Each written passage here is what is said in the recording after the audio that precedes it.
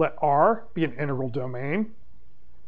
Suppose there exists a non-zero y such that we add y to itself n times, n is an integer bigger than 1, we get 0.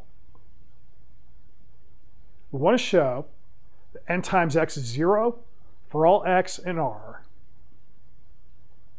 Now, first let's review definition of an integral domain. Here, R is going to be a set two operations, addition and multiplication, and enough compatibility conditions between the two so that we have a ring. Usually, we're going to insist that there's a multiplicative identity 1 in our ring and that the multiplication is commutative. Defining property for an integral domain, we're going to want that there's no zero divisors.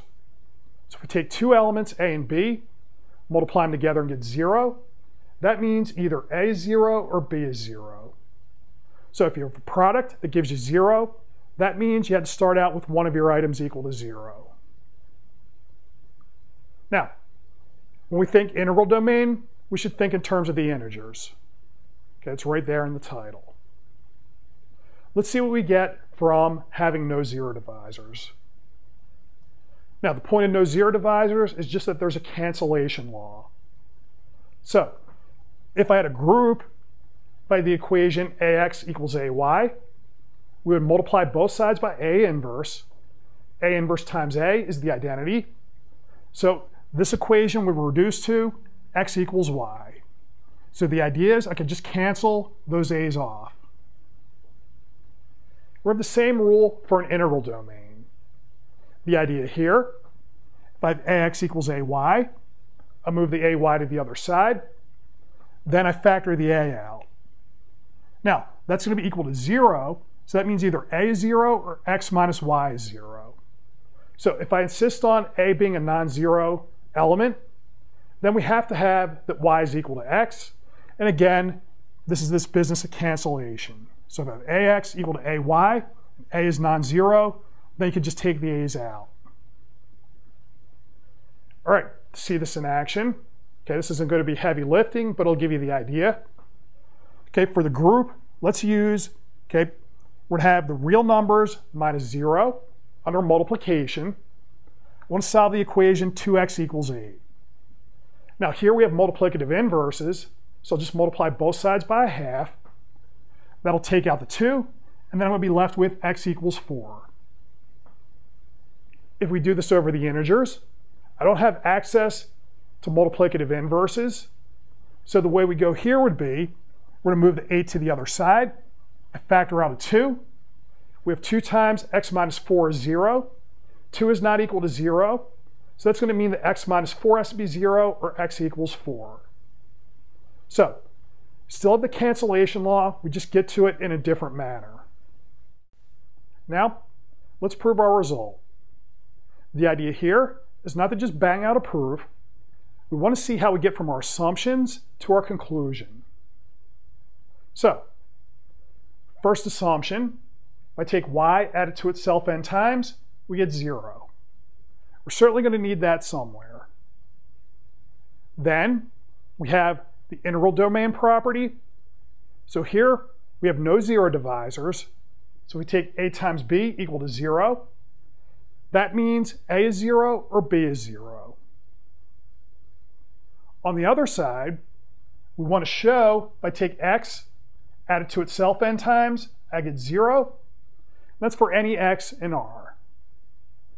Now, if we stare at this for a little bit, we want to find the middle ground from here to here.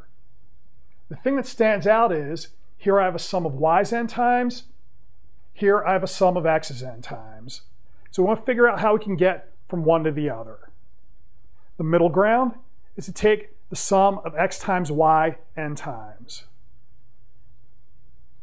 Now, we assume that we have a 1 in here, we could factor this thing as x times n ones added together times y.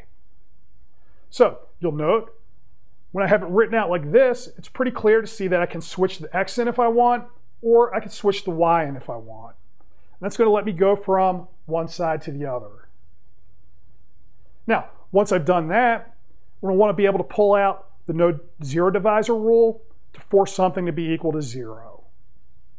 Let's take a look at the proof. Now, what we want to show, we're going to pick our x from r. I want the sum of x with itself n times equal to zero. So we're going to take that sum, I'm going to multiply by y. So that gets us to our middle ground step, the sum of xy with itself n times. Then I can factor an x out of the front. And since I have y added to itself n times here, we know that's going to be equal to 0. So I'm left with x times 0, and I get a 0. So that means this product here is equal to 0. And so, since we have no zero divisors, either the sum is 0 or y is 0. By assumption, y is non-zero, so that forces my sum to be zero. And that's our result. Now, integers, not going to be a very good model for this situation. Okay, we never have sums of an integer with itself that give us zero, unless we're starting off with zero. So, the model you want to think of here is going to be z mod p, where p is a prime number. Okay, and then this is going to get you into the area of finite fields. Now note, something like z mod 10, where we're not prime, it's going to be bad because you'll have zero divisors. So for instance, in z mod 10, if I was to take 2 times 5, we get 10, I subtract 10 off, I get 0. So here, we're able to write 0 as a product of two numbers that are not equal to 0.